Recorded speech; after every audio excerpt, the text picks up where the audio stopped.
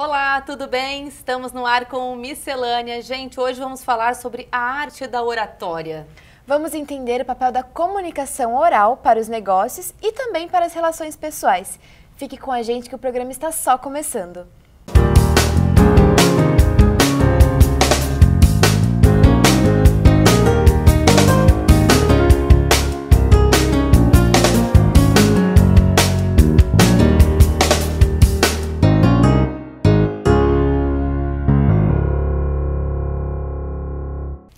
Quero começar esse programa fazendo uma confissão. Vocês acreditam que na infância eu tinha pavor de falar em público? E isso é super comum, né? Essa sensação de que todos estão te observando e analisando é mesmo um pouco assustadora, né, Isa? Ai, Fabi, eu não acredito, né? Justo você. Eu, eu.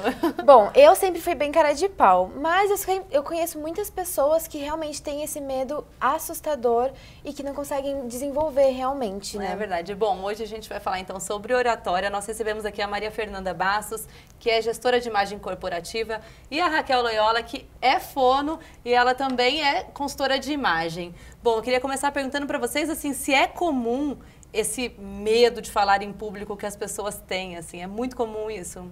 Quiser começar, Maria Fernanda? É o medo comparado, quando compara o medo de falar em público, né, vem antes do medo de cobra e do medo da morte. Então é Uau. é muito comum. As pessoas preferem morrer ou encarar uma cobra do que, falar, do que em falar público. em público. Olha. É, é muito comum. E Raquel, como que esse medo pode refletir na voz? A voz ela pode passar por várias alterações que acabam demonstrando essa insegurança da pessoa. Ela pode ficar trêmula, ela pode ter uma alteração na respiração, que faz com que haja uma incoordenação. Né?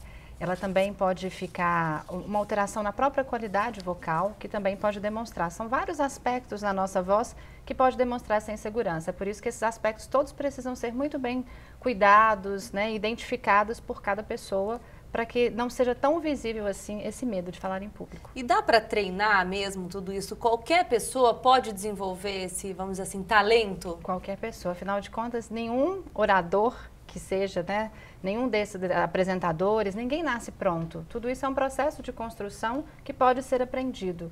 Né? A primeira coisa seria o autoconhecimento. A gente precisa conhecer e tentar descobrir quais são as nossas habilidades e tentar mostrar, verificar realmente aonde é que a gente precisa de ajuste. Uhum. Verificando que existe essa necessidade de ajuste, aí é interessante procurar o profissional específico, né? Porque nem sempre é só o fonoaudiólogo. Pode ser que seja necessário um psicólogo, um consultor de imagem, vai uhum. depender da necessidade é. de cada um. E o volume e a entonação da voz, eles também são muito importantes, né? Eles têm esse papel fundamental, né? Exatamente, exatamente. É, como, como encontrar, assim, essa... Porque tem gente que está nervoso, fala muito alto, passa agressividade, de repente, né? Ou fala, Ou fala muito, muito baixo. baixo. Como, que, como dosar isso, assim? É, isso está dentro do que a gente chama de psicodinâmica vocal, que é a voz tentando demonstrar um pouco da nossa personalidade. E nessas situações de conflito, a gente acaba ficando realmente sendo muito mais é, pressionado. Então, a pessoa, às vezes, ela pode não demonstrar realmente aquilo que ela é. Uhum. Mas, para encontrar esse equilíbrio, a gente precisa de tentar passar tranquilidade, muitas vezes pedir para que a pessoa faça uma respiração um pouco mais pausada antes, para tentar ficar o mais próximo do que é normal. Né, é. dentro do possível. E, Esquecer de respirar pode... parece que você é ansiosa, né? É verdade, é verdade. Aquela, parece que você tá afoita para falar. É, e aí tem gente que aumenta a velocidade de fala justamente por causa disso, né? Ah, sim. Aí entra um outro problema, né? Que é comer as palavras, não pronunciar corretamente. Exato. Isso também é complicado, né? Exatamente. A gramática. Que impacto que isso tem nas empresas, né? Fê, você trabalha dentro, muito dentro de empresa, com empresários. Como que isso é visto dentro das empresas? Eles enxergam essa importância da oratória? Sim, porque você se apresenta a todos os momentos, não é só para um grande público. Uhum. É numa reunião, com que sejam dois, três colegas de trabalho, ali é o momento da sua apresentação. E tem gente que fica nervoso até com pequenas plateias. É, até mesmo a questão de telefone, né? O áudio no WhatsApp, percebe-se muito que a pessoa, ela acaba não tendo essa sensibilidade, né? Essa postura na hora de falar, né? Uhum. Sim, você tem que saber apresentar suas ideias corretamente, se mostrar corretamente, né? Então, isso é muito importante e impacta, assim, numa empresa. Às vezes a pessoa é super capaz, mas como ela não consegue pôr para fora, as pessoas não adivinham. Uhum, Isso é, é prejudicial para o profissional. Agora eu vou colocar aqui um outro aspecto que é nessa questão do relacionamento, né? Tem gente que fala muito, né? Hum. É prolixo, é cansativo, vendedor, às vezes no telefone, né? Ou também fala muito pouco, não se comunica o, o, o suficiente, né? Acho que tem o lado negativo aí desses dois aspectos, né? Dessas duas características, né? Uhum. É, na verdade, o que a gente sempre diz é que você é o que você comunica e você comunica o que você é. Uhum. Nessa, essa, esse trocadilho. Por que isso? Porque, na verdade, a gente tem que ser um comunicador eficiente. Para ser um comunicador eficiente, a gente tem que adequar quem é o nosso interlocutor. Então, muitas vezes a gente tem que ser breve para não ficar com aquela comunicação que fica muito enrolada e muitas vezes perde-se o fio da meada. Uhum. Ou se é um momento que você precisa realmente de detalhar suas potencialidades, você tem que aproveitar, mas sempre procurando ser o mais objetivo possível. Sim. Por isso que a gente precisa de... É, desculpa te interromper. É por isso que a gente precisa de conhecer muito bem quem que é o nosso interlocutor antes da gente falar ou antes da gente participar de algum momento que a gente vai se expor. Isso Sim. deixa a gente mais seguro uhum. para aquilo que a gente vai selecionar realmente para comunicar. e as pessoas demonstram uma impaciência, é, a falta de atenção. Então, é, se as pessoas prolixas prestassem mais atenção com quem elas estão conversando, elas perceberiam os sinais de impaciência, Verdade. de tédio. E as pessoas que não falam também sentiriam essa é, a outra pessoa querendo Sim. mais informações e não conseguindo, tentando puxar aquilo e não vindo. Vocês conseguem dar para a gente alguns exemplos práticos, algumas dicas assim de quando você está sendo inconveniente, é, quando é que, que a pessoa fazer, tá... o que não fazer. Quando você fala demais e a pessoa quer ir embora, você começa a perceber que ela vai virando o corpo. Então, ela vai virando o corpo, ela olha o relógio, ela dá uma olhada no celular, ela vai dando sinais de que ela está perdendo interesse, olhando para o outro lado. É o próprio gestual, né? Ela pode muitas vezes travar o braço, é. né? Ou demonstrar, já deu por aqui, né? Então a gente tem que ser um bom leitor do que, que o corpo do outro está dizendo durante essa comunicação, para a gente poder ir fazendo os ajustes, né? Uhum. Na sala de aula a gente acaba fazendo muito isso, quem é professor. Uhum. Quando você percebe que os alunos já estão desinteressados, eles começam a guardar material, ou eles não olham tanto para o professor, e aí você pensa, peraí, deixa eu deixar essa aula um pouco mais dinâmica, um pouco mais prática, para trazê-los realmente para participar. Então, acho que a gente está atento realmente ao que o outro está dizendo, muitas vezes nem só falando, né? Mas o não dito também acaba sendo muito dito, né? É verdade. E quem está se apresentando, por exemplo, um professor ou uma pessoa que está dando uma palestra, que gestos ela não deve fazer, né? Uh, que influenciam no que a, pessoa, no que a plateia está assistindo negativamente? É, em geral, o, o, mais importante é que ela fique à vontade, né? Que deixe as mãos soltas, para que essas mãos ajudem, inclusive, a diminuir um pouco da tensão. Porque se a gente prende os braços, eu, por exemplo, não dou conta, né? Tenho uma descendência italiana, então tem que falar gesticulando. Mas é, para todas as pessoas é importante que as mãos sejam soltas, mas não tão soltas, porque se os gestos forem muito amplos, acaba que a pessoa vai prestar mais atenção nos seus gestos do que na fala. Então, o que eu costumo orientar os meus pacientes é para eles travarem né, é, os ombros no corpo e mexerem mais essa região aqui. Né? Então, em relação ao corpo, seria isso. Né? A postura corporal é importante também, não estar tá curvado, nem também ereto demais, que Influencia pode dar uma sensação de arrogância. Também, né? Exatamente, Nossa. exatamente. Então, é todos esses elementos, né? Circular, dependendo do que for, no caso de um professor, circular na aula, não ficar só sentado, não ficar na mesma posição para que é, isso torne mais dinâmico né, a, a, expressão e a comunicação deles. Agora, Raquel, você deu um exemplo aí, né? De você estar tá uhum. tá dando a aula, ver que o pessoal já está recolhendo material, dando sinais de que não está legal. Uhum. E beleza, você vai e muda o rumo da aula. Mas não é todo mundo que tem esse preparo, né? A gente percebe que às vezes o palestrante, o professor, ele perde ali, perde mesmo, né? O, é então, assim, a gente percebe que não é todo mundo que tá. Tem alguma dica também para quem nos, está nos assistindo e é palestrante, é professor, para não se perder diante disso? É, eu acho que a primeira, a, a, primeira regra, acho que mais importante é, o, é, a preparação do conteúdo que você uhum. vai ministrar, porque eu acho que isso deixa você mais seguro. É, a segunda coisa é conhecer quem que é o interlocutor, quem, que é, quem são os alunos, como é que eles estão acostumados com o tipo de aula, como é que eles normalmente participam mais. E a outra coisa seria, é, eu acho que eu, pelo menos, é, nas minhas aulas, eu costumo sempre ter uma carta na manga. Né? Uhum. Que seria o que mais eu posso fazer? Sempre alguma outra opção diante daquele conteúdo. Como você disse, a questão de exemplificar sempre é uma coisa muito legal. Uhum. Dar exemplos pessoais, isso faz com que as pessoas tenham a sensação de que, de que o outro tem vivência, de que o outro conhece aquilo que ele está falando, tem conhecimento de causa. É, então, é, tentar intercalar, não ficar numa aula só tão expositiva, usando vídeos, é, usando alguma outra coisa que possa demonstrar um pouquinho daquilo que a pessoa está falando.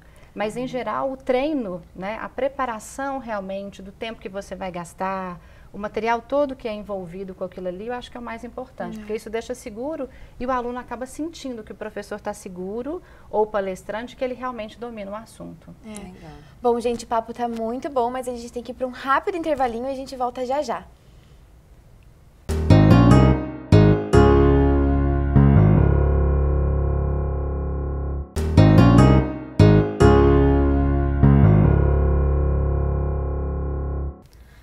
Oi, Miscelânea está de volta com um tema muito importante aí para suas relações pessoais e profissionais, que é a arte da oratória. Antes de nós retomarmos a nossa entrevista, eu quero chamar aqui o nosso quadro de moda. Acompanhe. A saia Godet foi popularizada nos anos 50 pela Dior. Se trata de uma saia rodada com cos alto e ajuda a disfarçar os quadris mais largos. Você quer ter essa peça no seu guarda-roupa? Eu sou Amanda Gregório e no Dicas de Moda de hoje eu vou te ensinar a fazer essa peça.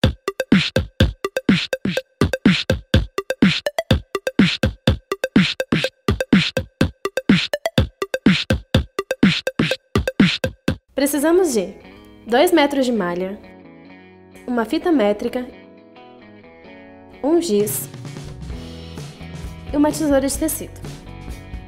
Primeiro, dobramos o tecido duas vezes e dividimos o tamanho da cintura total por 4. E marcamos os resultados no tecido com giz.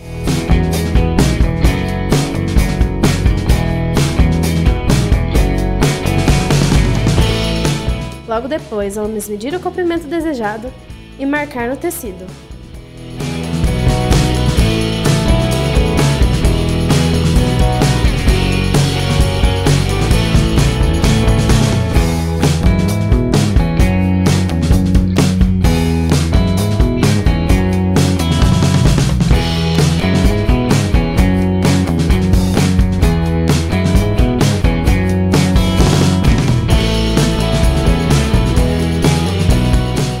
Cortar as marcações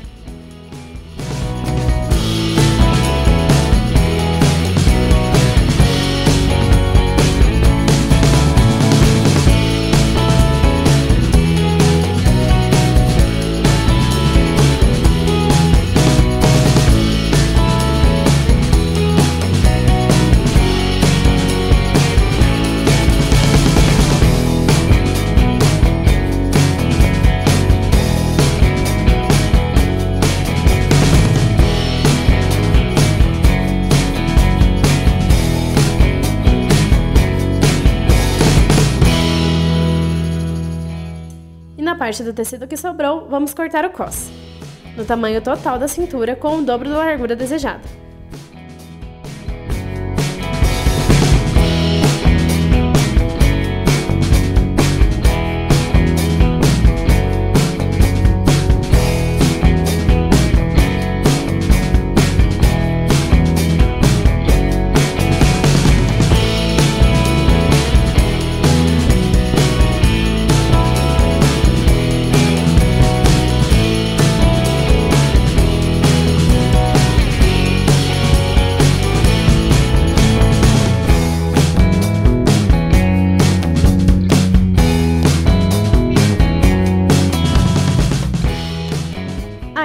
Só costurar a saia e está pronta. Esse foi o Dicas de Moda de hoje. Um beijo e até a próxima!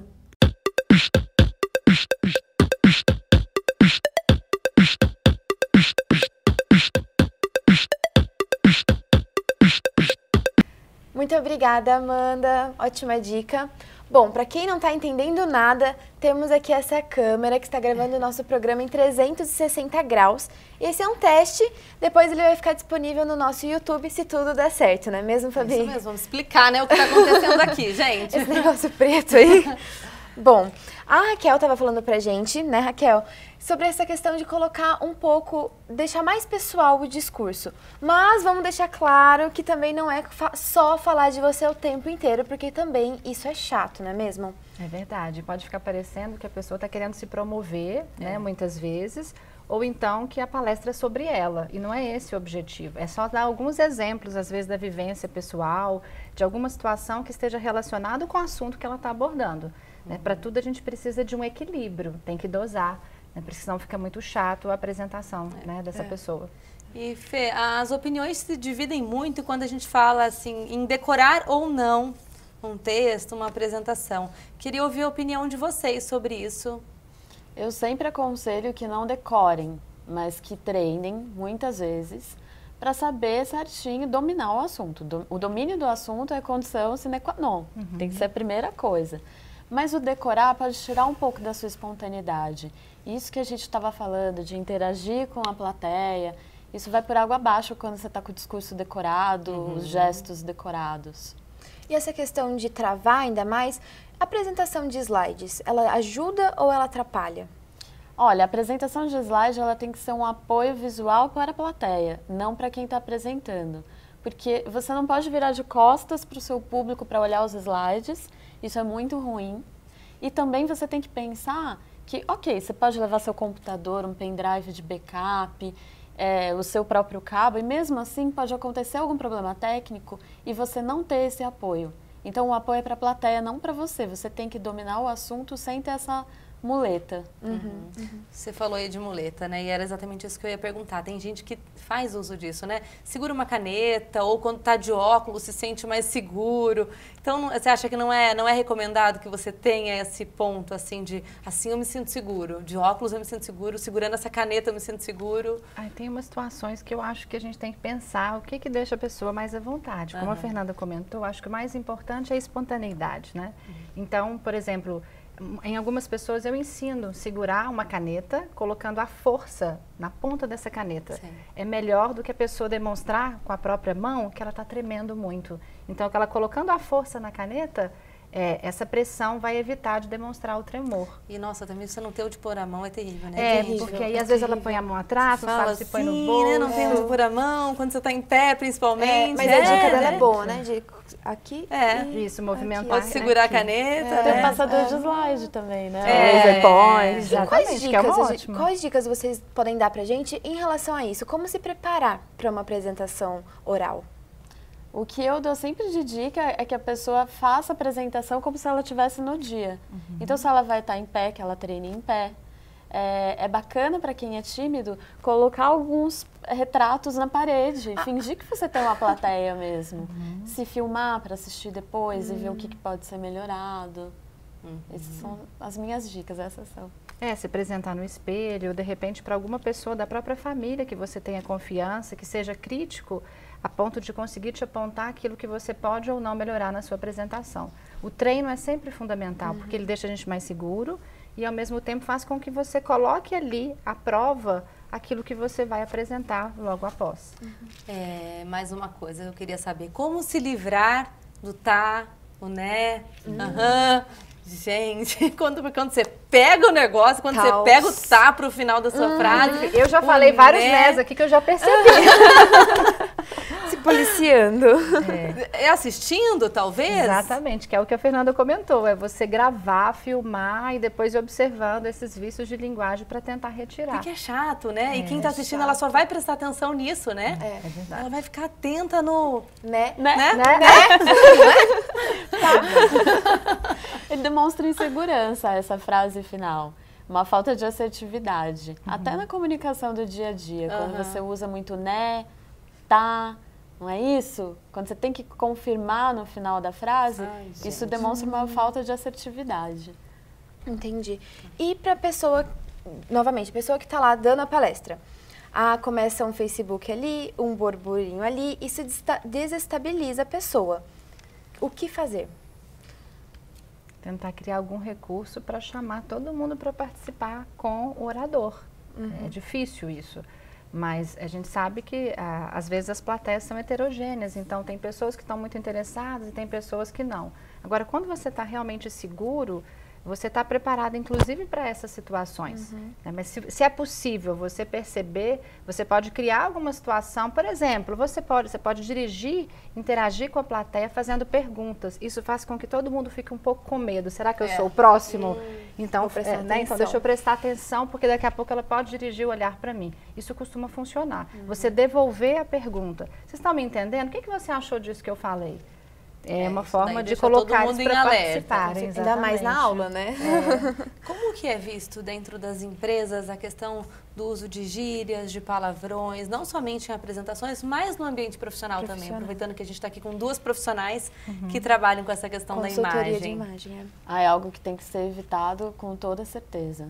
Por mais que o ambiente seja descontraído e se de repente até seu chefe, que a gente fala, né, boca suja, solta um palavrão ou outro, é importante que você mantenha a sua postura. Então, independente dos outros colegas falarem ou não, você evitar gírias, evitar palavrões. Isso prejudica mesmo a imagem? Muito. Afinal de contas, como eu falei, né, você é o que você comunica. Isso pode soar informalidade, desleixo e falta de preocupação com o ambiente profissional. Então é importante a gente entender que cada lugar a gente tem um papel. E a gente tem que vestir esse papel para conseguir demonstrar que a gente está realmente interessado naquilo que a gente está executando. Com certeza. Vou fazer agora as duas terem que improvisar. Vou pedir para vocês uma dica final. Nosso tempo está acabando. Uma dica final para quem está nos assistindo e Bom, todo mundo precisa, né, gente? Mesmo que você não seja um palestrante, um professor, você precisa ter o dom da, da, oratória. Da Então, uma dica rápida de cada uma. Uma dica. eu tenho uma dica que eu sempre passo para os meus amigos e clientes quando eles estão nervosos antes de uma apresentação, que é antes de se apresentar, você ir para um lugar quietinho, de preferência que tenha um espelho, e fazer a pose da Mulher Maravilha ou do Super-Homem, que é ficar com a mão na cintura, os pés afastados, ficar assim encarando, tendo pensamentos positivos, então eu sou bom no que eu faço, eu domino, eu sou confiante, eu sou seguro Olha, respirando e depois você vai. Essa pose, ela altera a nossa fisiologia e libera o hormônio da testosterona. A testosterona é o hormônio do poder, que te deixa mais confiante. Ao contrário, se você fica encolhido, com medo, se você se senta curvado, já começa a mexer no celular ali, querendo uma posição quase fetal, isso esconder. libera cortisol, que é o hormônio do estresse, e vai te prejudicar na hora da sua apresentação. adorei. Muito bom, muito bom. Vou usar Muito bom. também. Muito Agora é bom. você. A minha dica, o que eu sempre penso quando eu vou falar alguma coisa, e que eu tento en- ensinar para as pessoas que me procuram, é tentar pensar qual que é o objetivo principal do que eu tenho para falar, qual que é a mensagem mais importante do que eu tenho para dizer. Então, eu acho que é interessante você, às vezes, começar a sua apresentação levantando esse questionamento e, no final, tentar fazer o fechamento. É como Respondendo. a pergunta que você propôs inicialmente. Isso é uma forma de fazer com que a sua palestra tenha o início, um meio, que é o desenvolvimento, e é o fim. Isso faz com que as pessoas não esqueçam o que você falou. E por mais que às vezes você falou muita coisa, a mensagem mais importante, que é você quem sabe, você vai conseguir transmitir. Muito Isso legal. vale também muito para quem legal. está dando entrevista, né? Para a Media Training, mas a gente fala sobre isso num outro, programa. Muito obrigada pela presença agradeço. de vocês, viu? Muito obrigada, foi um prazer ter vocês aqui hoje. Vamos É. aplicar todas as técnicas, melhorar nossa oratória. certeza. Próximo programa vocês já sabem. Mulher Maravilha. Sentassem, né, Mulher Maravilha? Antes de começar, Mulher Maravilha. Mulher Maravilha. Bom, gente, a Miscelânea vai ficando por aqui. Um, um beijo. E nos sigam nas redes sociais, é, TV Univap no Facebook, arroba TV Univap no Instagram e no YouTube também, TV Univap. Isso mesmo, e a gente se encontra no próximo programa. Tchau, tchau.